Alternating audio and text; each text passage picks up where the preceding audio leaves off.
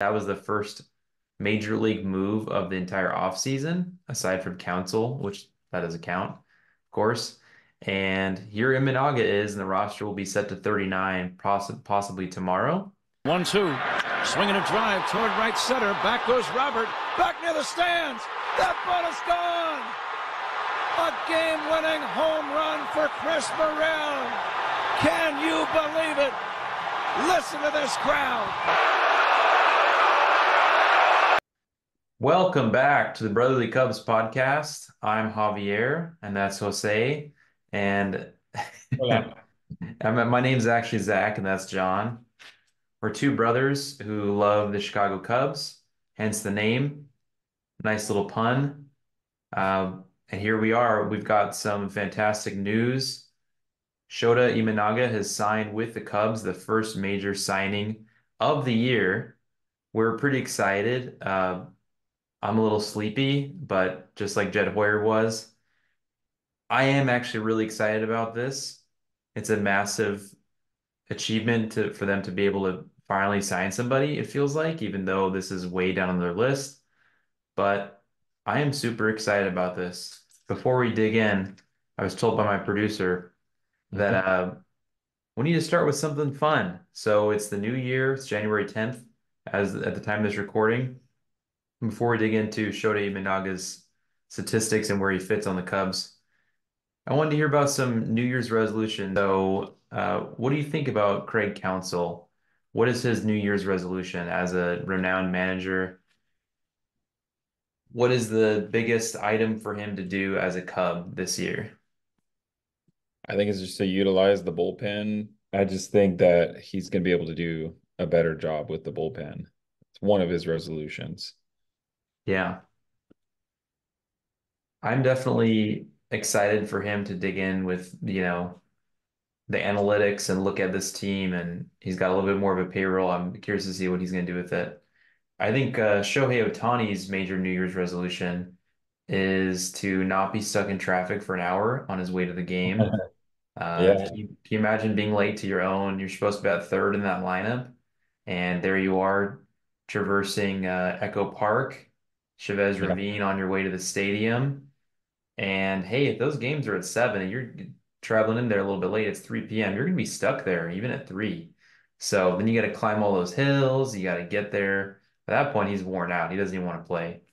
So yeah, I think I, I want I want a production of like his journey to Dodger Stadium or something. Like his car broke down and it's, it's just like the camera pans to him and he's like, and he's like running up the hill and then it pans back into or there's a feed back into Dodger Stadium and then like someone's thrown out the opening pitch and he's still not there. And then it's like he's back. He is, he's in the tunnels and all that.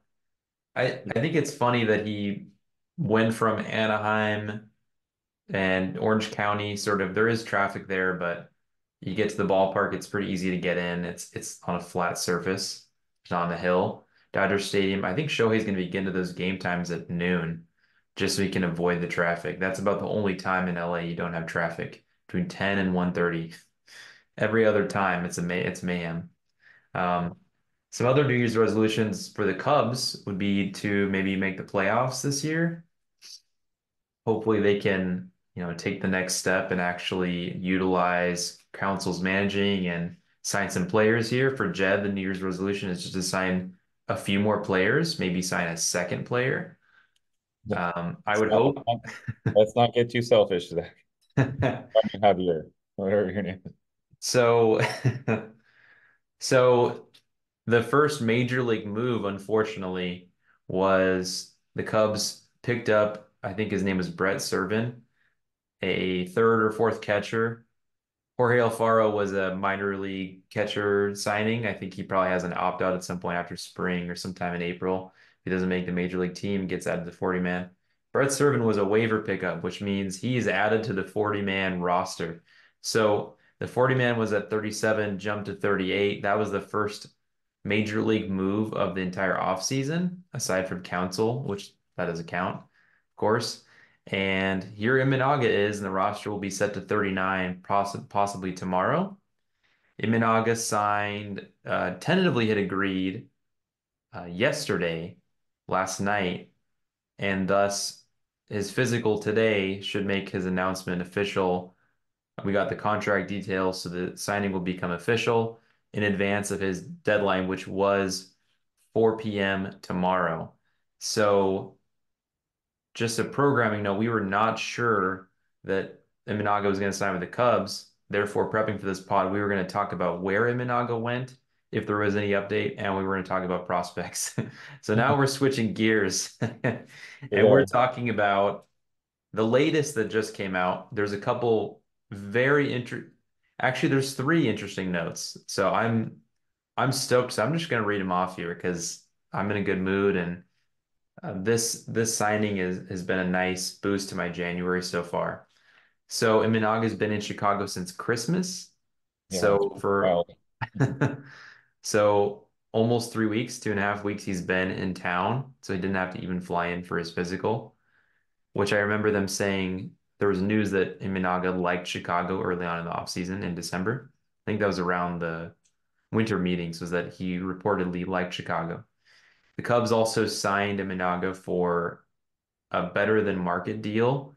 Imanaga turned down a deal that was worth potentially uh, double what the Cubs gave him. So I think he did have it. The report was right. He did have a hundred million dollar offer on the table, but he took a lesser offer with the Cubs. Here's the rub. So I've spent about 10 to 15 minutes, if not a little bit longer, trying to dig into this detail.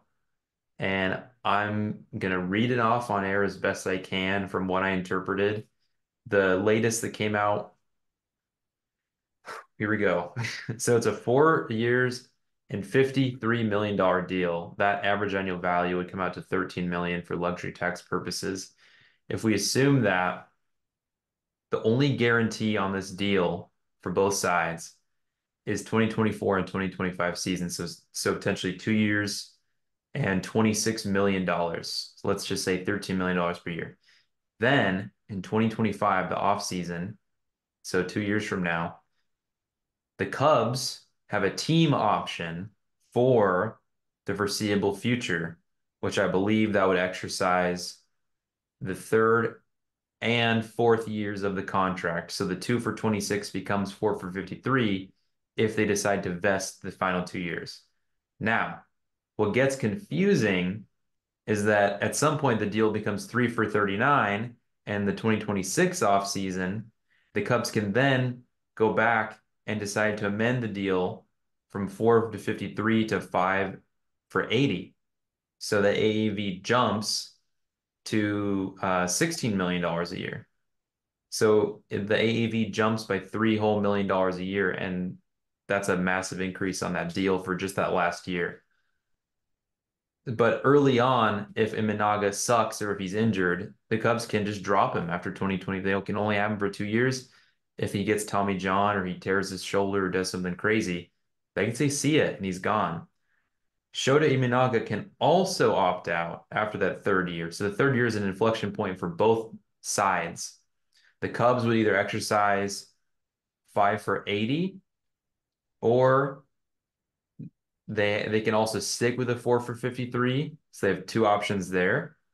Or if the Cubs don't exercise the five for 80 for the deal in that third year of the deal, Imanaga himself can opt out. So he's guaranteed four for 53 if they exercise in 2025. So he needs to do well for two years to get hit to get that four for 53. If he does really well, the Cubs can lock him down until the 2028 season. So I had to write all that down. I had to sort of parse it out and think about how it works. And I'm not even sure if I got that right. I, I think you messed up in like three different areas. No, I was like, go ahead, tell the class. And well, yeah, I was reading something on Twitter about someone trying to understand like the third year. I think it was from Jesse Rogers. Jesse Rogers, someone had commented on his post uh, or his tweet or whatever you call it now, his ex post. post. Yeah. and he was saying, uh, I'm, I don't, I don't quite get it, or I don't understand. And then Jesse said, "What part don't you get?" Like, and then it was just like, there, there's just a litany of comments below. But it's, I didn't even understand that far. From what I understood, I mean, I think you really delved deep into that contract.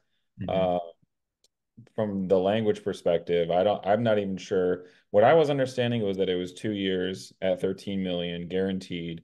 So 26, like you said. Um, and then after that, they would revise it and figure out there's a team option, right? Yeah. Uh, so yeah, the team option, and then if they decline that, then they then what would happen?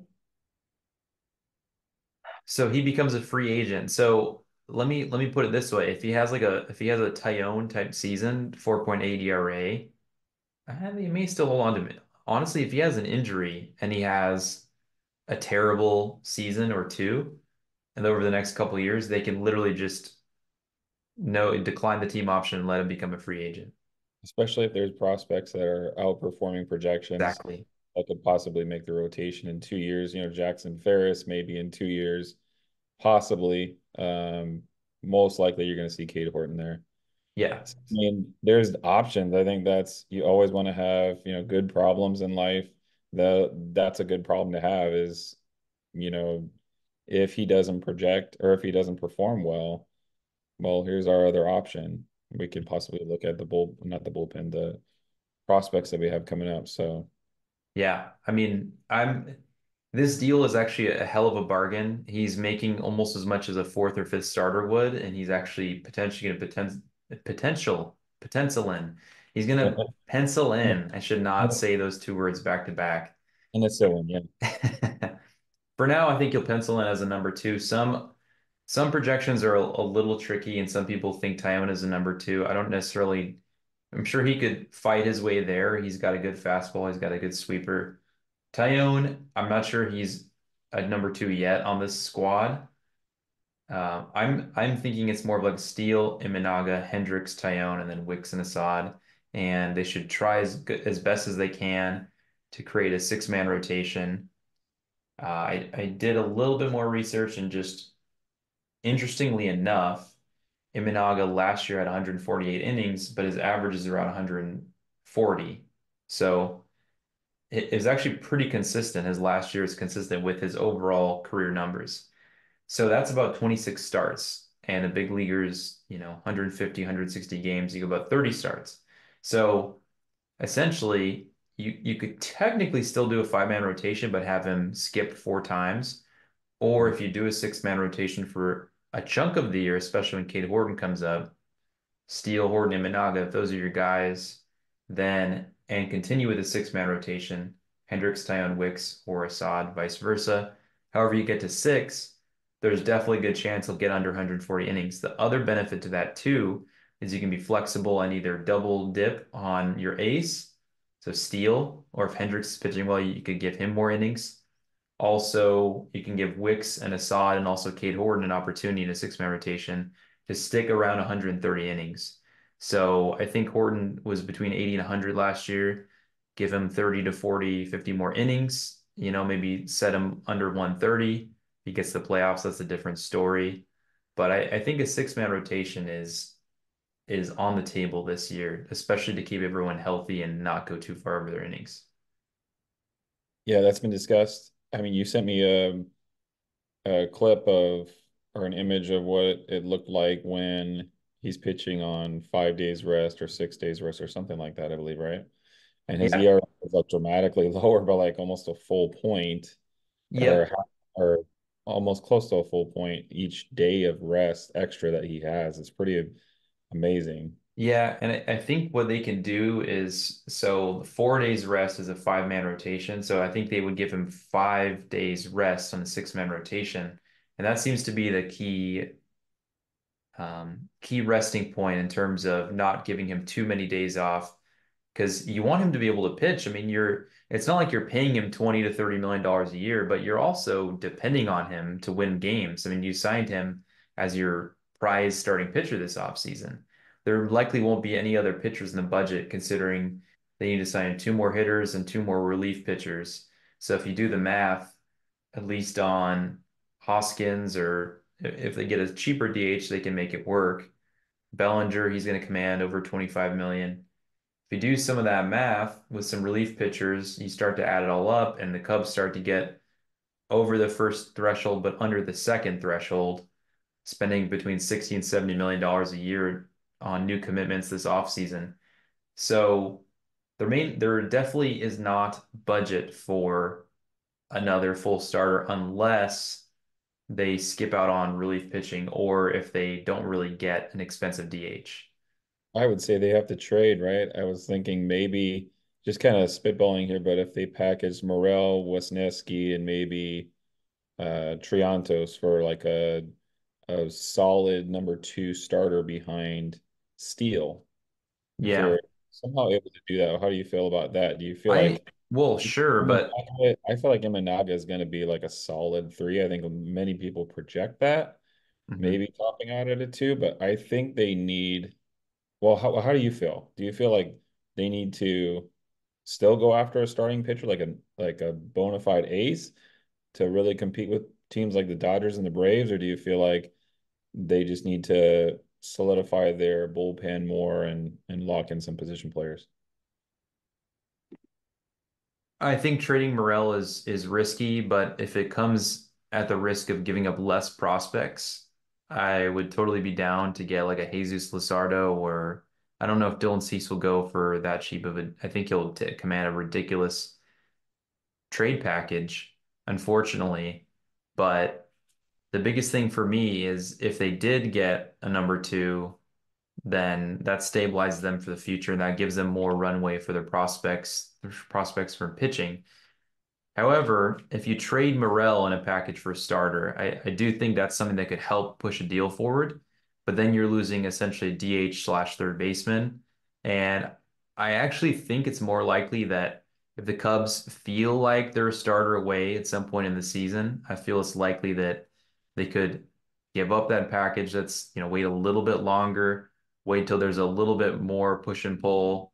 Uh, the levers start working on the trade deadline. You know, the GMs are a little bit more motivated to work on a deal, especially if, let's say, let me give you a hypothetical. Matt Shaw is going to start at Tennessee, but let's say in the middle of the season he's in Iowa and he's got a still a 1000 OPS. And hey, he's been playing third base. If you start to see that happen, and maybe you don't feel like Morel is playing third very well, then you got to trade Morel. And also because because if you or if you get production at the DH from others, so let me pose this: PCA and center, Bellinger first, and then let's say Hoskins, Turner, Belt, someone at DH. And let's say let's say they were to sign Chapman too. I, I don't know, just a hypothetical. I don't know if they would sign him, but or if they're getting good production at a third. If everything is going well and Morel can't field third, and you have a good DH and sort of those pieces are fitting together, Morel becomes very tradable. But if he's playing third base well and Matt Shaw is not ready and you need some of those components still, I I would wait. Personally, I would love a second starter. I just I don't think they're gonna they they could could have gotten it for money this offseason. They may wait till next offseason and push the chips in a little bit further, especially as they're more confident in their plan. And they may wait to give the prospects until they absolutely see a perfect deal on the table, in my opinion. But I'm not sure if they'll go for number two this year unless it's at the trade deadline. And the money's just really not, it just depends on how far they want to go. If they go up above 260, I think they could get there easily to get um, a starter in the 20 to 25 million dollar range, or maybe they're cheaper arbitration years that that would help them save some money too. So I could see that being an option. If you could Cease, I think was the number I'm thinking of is 10 million, but that might be Shane Bieber's number. Either way, if you got a, a pitcher at between 10 and 15 million, I think they'd make a trade for him, especially because they wouldn't go that far above the luxury tax. But I'm I'm on the fence. What what are your thoughts on that? I, I kind of how you feel. I kind of feel the same way. I want to see I want to see how our season goes. You know, if we're if we feel like we're very competitive this year, everything seems to be clicking, and the free agents that we've signed, hopefully whatever remaining free agents that we've signed are um, putting in the work that we want. Maybe we do make a trade for a starter at the deadline. I probably see that happening more towards the deadline than right now. Um, we could also see how Bieber does, you know, throughout the year up until July or August. And then if he is producing and he has proven to recover from his injury, then we can make that trade. But I I think they're probably going to wait to if they really do feel like they need a, a legit starter that they that they feel comfortable trading uh, pieces for. Yeah. Um, also, Alonso too. I mean, there's one of the crazy. I was watching uh, a clip on YouTube from ML, MLB Network, and they were saying um, Cade Horton and Ben Brown for Pete Alonso. Mm. I was like, nah. I think I would say no to that. If the Cubs don't trade Ben Brown, I think he's technically the first man up out of Iowa. If he's healthy and he's pitching even remotely well in April and May, from what you saw earlier in the year, sort of summer, the beginning part of summer before he got hurt on his way to Iowa, kind of like how he was in Tennessee. If he can pitch for a single month, I, I wouldn't be surprised if they get him to, to eat some bullpen innings and slot him into some spot starts. Now, I, I still think Ben Brown is, I'm not going to say his ceiling is limited, but he's he's still has an incredible ceiling. I'm curious if he's more suited for relief, but also I just kind of want to see him work and and hopefully they get a chance to get him up to the bigs next year. But I'd be okay trading him knowing that the depth is still pretty solid. If it gets you someone great back in return, that means a lot more, knowing that Horton will be there. But I'm greedy thinking about this rotation with uh, when Hendricks either retires or leaves the team, Steele, and Imanaga, Brown, and Horton. And now you've got four guys that can actually strike people out. That's important. You're not just limiting contact and sort of getting ground balls and blue pits and things like that, as Hendricks might do or Wicks or Assad might do. You're actually striking guys out. So that's good to have in your rotation. So it's kind of exciting thinking about all of these these flamethrowers down the minors. And I'm not saying there's a ton of them, but it's been a long time since the Cubs have had legit homegrown pitching that can strike guys out. So it's well, impressive. Um, another note I wanted to make about pitching, as we sort of feel like there's not a lot of room for another free agent starter. The Cubs have, per Jon Morosi, again, I don't know if I trust this guy anymore because he's he's botched a million things this offseason, but he thinks the Cubs should be in contention for Hader. He did mention yeah, something like a shorter term deal. Now, if they paid him two for 40, remember that Hader wants to beat Edwin Diaz's five year, $100 million contract, so 20 million per year for a long term deal. The Cubs just hedged a ton of risk off this Imanaga signing. So I'm curious if the Cubs would be wanting to hedge more risk if Hader's not getting the deal he wants, if he would sign like a two years 45 or two for 42, something where he's getting a higher AAV, shorter term deal after those two years. He's gone, and then he can he can cash in again on the deal he really wants if it's there. I would I'd love for that to happen, especially because Counsell would be his manager, former Brewer, former Brewer, link up, work together, harmony. Uh, a couple other notes for the bullpen: Robert Stephenson and Brent Suter. Those those uh, names haven't necessarily surfaced, but I think Cubs Twitter is in unison on signing some of them, especially left-hand arm with Suter. They miss on Hader, and the last target that may go unnoticed that I, I still really like, and I'm going to beat the drum until he signs somewhere, is Brandon Woodruff on a two year deal. I think with Brandon Woodruff, he's going to sign a multi year deal this year with some team. And the first year, maybe for five to six million, like pretty cheap. We're going to pay you to rehab, and he might come back in September, and that would be a nice bonus, right? That second year would be worth closer to his market value, 20 million, something like that. Assuming, you know, he rehabs. The Cubs just dealt with this exact injury. They rehab Hendricks with a capsular tear in his right shoulder. 3.7 ERA. Those are good numbers for Hendricks' career. Even improved over the last couple years. If Woodruff can come back with Counsell, with the Cubs, rehab this year, make it to the end of the season, maybe he gets there, maybe not. 2025. Now you've got him under control for one more year and now your top of the rotation is like Steele, Woodruff, Gordon, Imanaga. That's stupid good. So if that option is on the table, even if the Cubs would go over that threshold a little bit further, I think that'd be worth it, especially if you could get a front row seat at re-signing Brandon Woodruff. Yeah, I mean that's I know you'd mentioned that before. You're definitely high on Woodruff. Um, Good. The the only thing I guess that concerns me when we're, I mean, hearing you talk about him was remem remembering, I think it was his postseason. Um, how did he perform in the last year, the postseason? I mean, he had an okay. Yeah, I don't have the numbers in front of me, but if you think about the Brewers as perpetually really good with Counsell, they don't seem to make a lot of noise in the postseason. So I know in the first round they tend to fizzle out pretty quickly.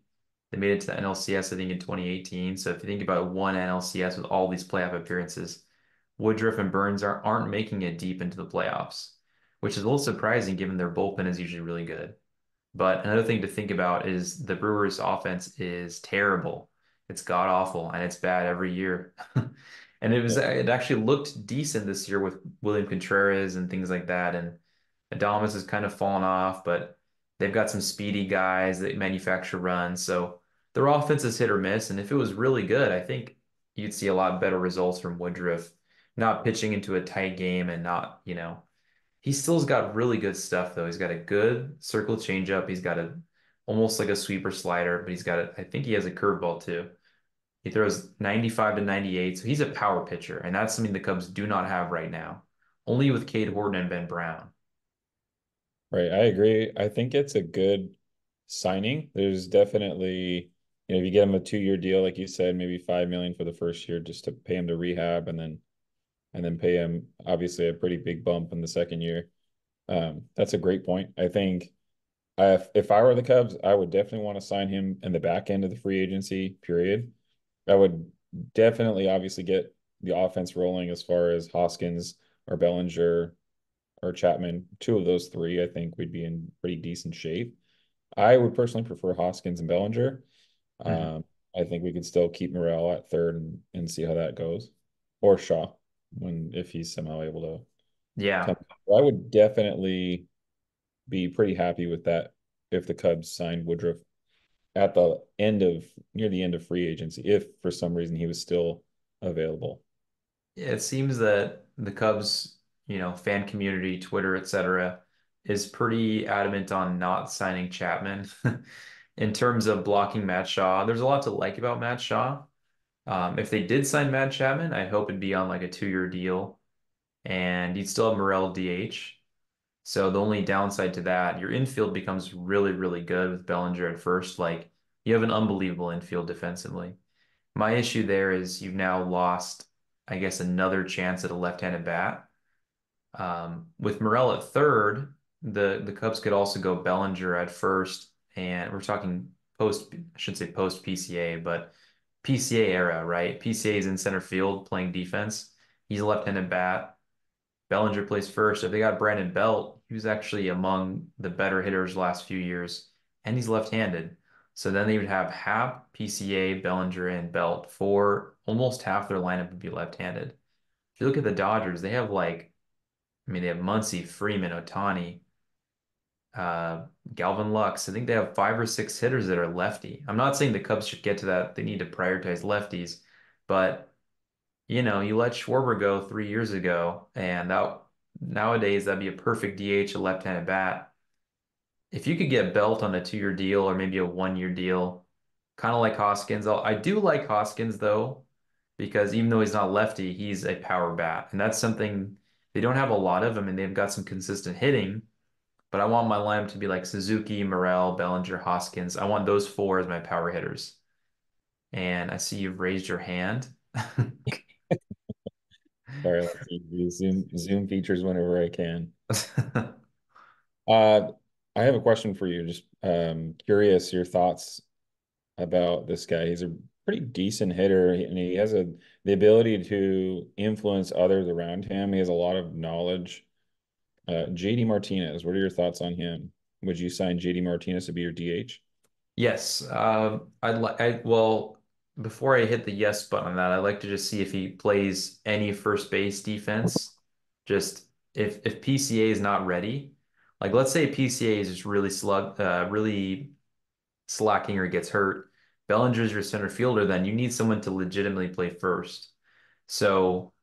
I'm I'm gonna default to Hoskins. I don't know how well of a defender either of them is, but Martinez is technically a better overall hitter, like a power hitter.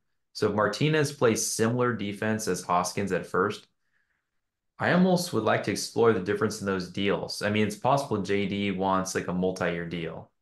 And so if that's the case, then that might be kind of a sticking point because the Cubs don't want to lock any position down too long. But I I would say yes to JD Martinez. Yeah, he is. I'm trying to figure out how old he is. Let's see. He's 36. So oh, oh, I was gonna say 30. I was saying mid 30. I don't know how much of a yeah, I mean maybe a, a two to three year deal. I mean, I don't I don't know how much more um how longer how much longer he's gonna want to play. Yeah. Last year, just kind of running through his numbers, you know, 33 home runs, 117 hits, um, 271 batting average, and 103 RBIs. Yeah. So pretty and good. healthy. I didn't didn't have to recover from a, you know an ACL. I mean, I don't I'm not saying that's some major downplay on Hoskins' market, but it kind of is. I mean, he's only going to get maybe a one or two year deal. Yeah. So and, yeah, I mean, if he's a Boras client too, that that might hold things up as well. Right, that's true. Running through the bullpen options, if you had to choose two to sign, who would you sign? So I'm going for a power righty. So either Hector Neris or Robert Stephenson. And I'm going Brent Suter as my lefty. Although I would take Hader on a short-term deal with a cheaper right-hander. I don't know who that person would be. If they had to save money, I I I would prioritize Hader because that immediately stabilizes the back end of your bullpen right away. I agree. I I definitely think Suter is a strong possibility for the Cubs. Obviously, there's the connection again with Counsell. Yep. I don't think again, kind of going back to John Morosi or JP Morosi, he thinks that we're going to sign or that we have a strong chance to sign Hader um, or that we should push to sign Hader, but I don't think that the Cubs or Jed Hoyer is definitely going to put in that kind of money for a reliever that he's looking for, that Hader's looking for. Yeah, I mean, only if it's a one or two year deal. If he gets if he gets a chance to reestablish his market, maybe he takes it. And the only other thing there is that Counsell is his manager, and maybe that's his comfortability for Hader to, I wouldn't say take less money, but take again a pillow type contract and roll with that. But I don't see it either, honestly. I I, I think if he gets a five year deal, it won't be the Cubs. If it's over three years, it's not the Cubs. If it's two years, we're back in the ballpark, but definitely not on a five year deal. They, the Jed has almost never done that on for relievers. Also, we do have a closer in Alzolay. He's not an elite closer, I would say. I I wouldn't put it there. I wouldn't put him up there in the top five or so in the game. But you can see what you have with him. And then come All-Star break, if the Guardians are still trying to trade Emmanuel Clase, you could look at that as well. He's he has controllable years and I believe it's 15 or 16 million per year mm-hmm. or less. I mean, I think it's less, yeah. Less. I think it's like 13, maybe even. So I would really love for him to be our closer, but that's mm-hmm. a discussion for another day. well, we are out of time. this has been the Brotherly Cubs podcast. That's Javier, aka Zach. I forgot what my nickname was, but I think Jose. AKA Brother John, and we will see you on the next one. Adios.